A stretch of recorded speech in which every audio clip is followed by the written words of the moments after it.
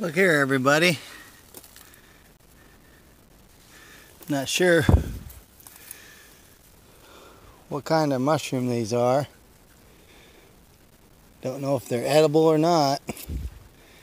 They're getting a little on the dry side. But anyhow, there's them there and these here on this tree. Those are really dry.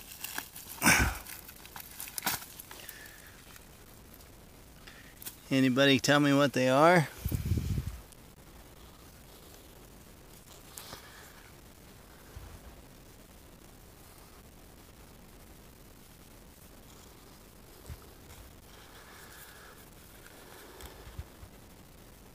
I'll have to look up on the internet and see if I can see what kind of mushrooms these are. I'm just up here in my pasture walking around. I should say pasture slash timber. It used to be pasture and now it's all trees. As you can see, some of you have been up here with me before, hunt, mushroom hunting.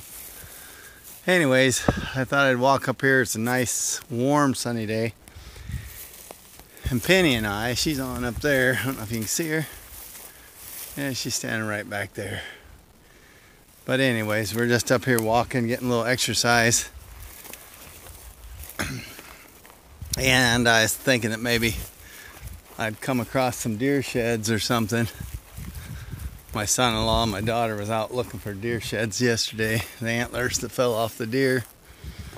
They'd be losing their antlers this time of year and start growing the new ones for this fall. But anyhow, so that's what I'm doing. I'm just up here messing around. I want to talk to you about jumping on the bandwagon. Um, my sister, she's been calling me the last few days and asking me questions about canning um, she's going to be getting some chickens. And she asked me if I'd help her build a chicken house. So I'm going to be doing that. I'm going to show you these berries, the juniper berries. Uh, these are on the cedar trees up here in my pasture. I've used them for seasoning. I've cooked a roast and put some of them in the roast. Man, that gives it a good wild flavor. So if you guys got an opportunity to pick some of them, uh, they're good for seasoning food and stuff. I think the Indians used to, or politically correct Native Americans, used to use them for flavoring their food back in the day.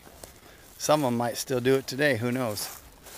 But anyhow, I've used them and it gives the uh, meat a really good flavor. But anyhow, back on to jumping on the bandwagon. My sister's been calling me. I get easily sidetracked. And she's been asking me about canning because she knows I plant a garden. She's been asking me about the garden. Um, she asked me if I'd come over and till up an area at her place for a garden because she don't have a tiller. So I got to do that this here within, I don't know, a few months so she can get a garden planted. She called me today and she's out shopping. Sorry about the lighting, sun keeps hitting you. But she's out shopping today for canning jars. She's calling me and asking me about the different brands of canning lids and jars. If a certain brand's a good if it's a good uh, quality lid and stuff on some of these jars because she plans on basically jumping on the bandwagon that I've been trying to tell her to do for a long time.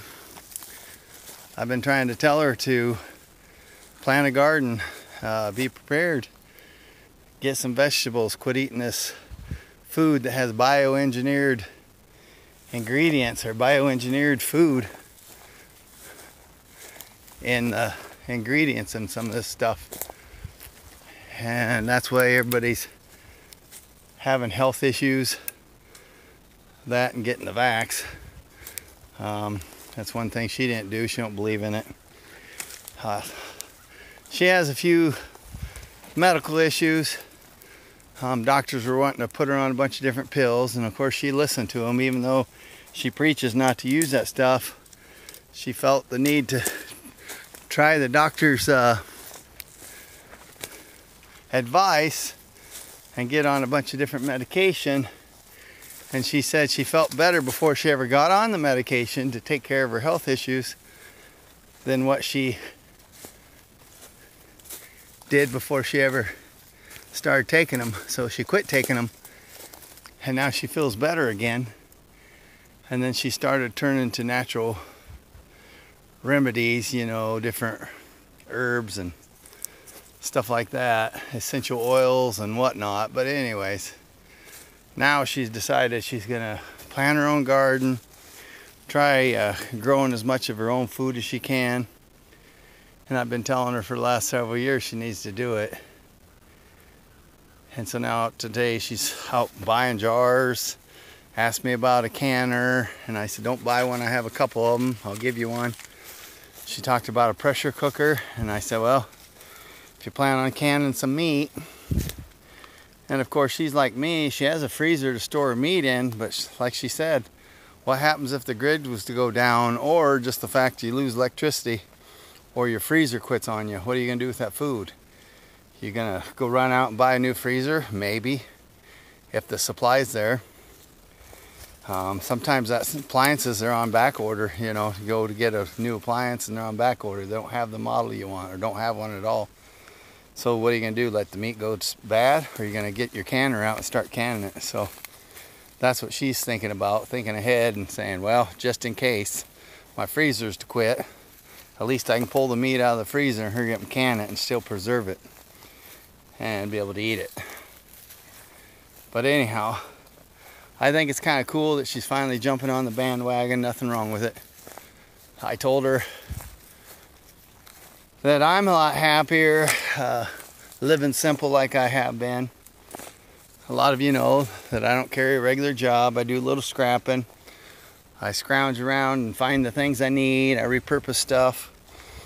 I get all my animal feed for free other than the gas to go and getting it. I scoop up beans and corn that get spilt in the fields and beans over at the bean plant where my wife works and supply feed for my pigs and my chickens. I have that walk behind tractor and baler. I put up my own hay. I mow the road ditches and bale that. And the brome grass in the road ditches. I have grass up here in my pasturing areas. Trees are pretty much taking it over, but there are some areas that I can mow and bale. So I'm not shelling out money for hay for my horses. But if I had goats, I'd have that hay to feed goats and I'd have my own goat milk. And so, you know, being able to do that stuff for yourself is a blessing and not like i said not everybody can do it but there's some of that stuff that you can do for yourself you just got to choose to jump on the bandwagon so those of you that are not on the bandwagon feel free to jump on nobody's going to ridicule you about it matter of fact they'll be more than happy to give you advice and help you out well i'm not going to ramble any longer i'm going to let y'all go but if you're not on the bandwagon, be free, feel free to jump on. We're here to support you. See y'all later, and don't forget I love you. Bye.